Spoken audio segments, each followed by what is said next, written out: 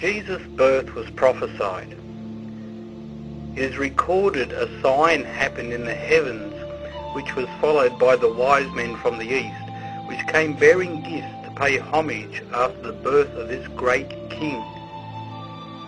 The angel Gabriel appears to Mary and tells her of God's plan for her to bear the Saviour of the world, and quotes the prophecy from Isaiah 7:14 so the Lord himself shall give you a sign. Behold, the virgin will conceive and shall bring forth a son, and they shall call his name Emmanuel, which means God with us.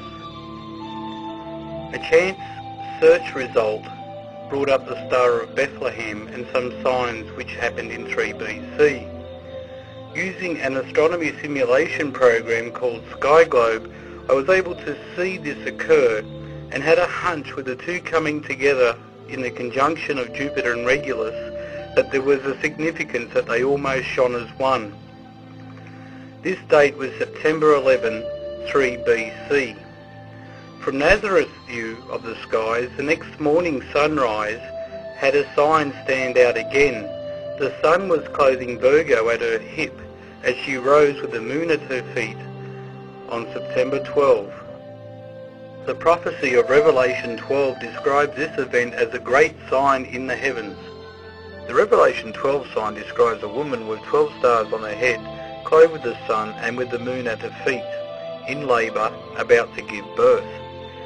It says that while she was in travail, a great red dragon crouched in front of her as if to eat the child after it was born. It had seven heads, ten horns and seven crowns. Its tail drew a third part of the stars and cast them to the earth. That child was a boy who was going to rule the nations with a rod of iron, and he was caught up to God and to his throne. And the vision continues on. Meanwhile, here we have, after Virgo rises in the sky, the constellation to the left of her and slightly after her is called the Serpent. It has seven main stars appear in its cobra-like upright parts before it bends 80 degrees. Virgo is one of 12 constellations in the direct pathway of Earth's rotation, commonly called the zodiac signs. The 12 stars also represent 12 tribes of Israel and 12 apostles. Note the prophecy is also a Revelation 12. So how do we know that this is the correct sign? When we look at the other factors involved, we find there are three planets in Virgo, each with significant meanings. We also find that the times they arise on the horizon paint a fantastic set of secondary signs pointing to various verses in the prophecies. Firstly, Jupiter rises clear of the horizon at 1.47am, followed by Regulus one minute later. Now note the prophecy numbers from Isaiah 7.14, and that was 147. Jupiter is the Roman name for Zeus, the king of the gods. Regulus means the little king. Jesus is the lion of the tribe of Judah in Revelation 5.5. In the days after this, Jupiter starts its retrograde cycle where it reverses direction in the sky and during this process, which takes several months, it passes Regulus three times in all.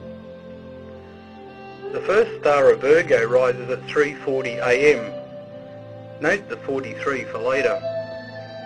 3 times 4 is 12. 12 is mentioned earlier with the prophecy of Revelation 12 and the 12 constellations.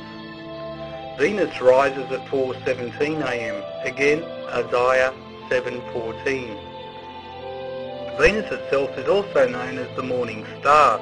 Jesus calls himself this in Revelation 22.16. Mercury rises clear by 4.44 am Note there is a two minute difference in two different simulators on this time from the Windows to the DOS versions of SkyGlobe.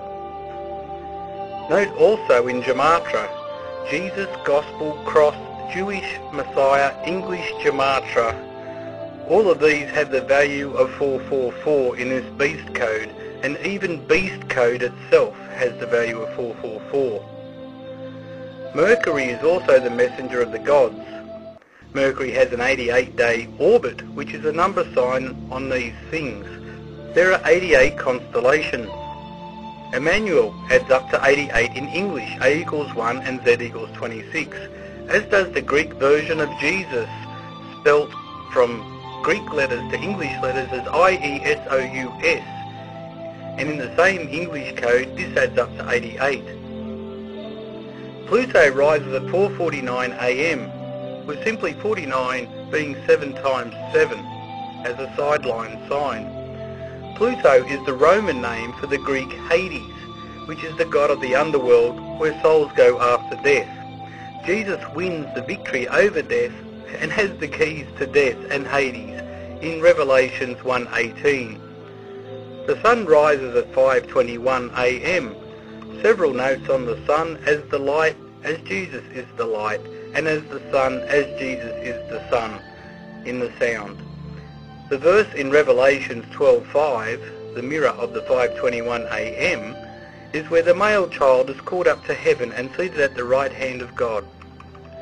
The last star of Virgo rises at 7.14 am. Again, those same numbers from Isaiah, exactly in order this time, Isaiah 7.14, 7.14 am.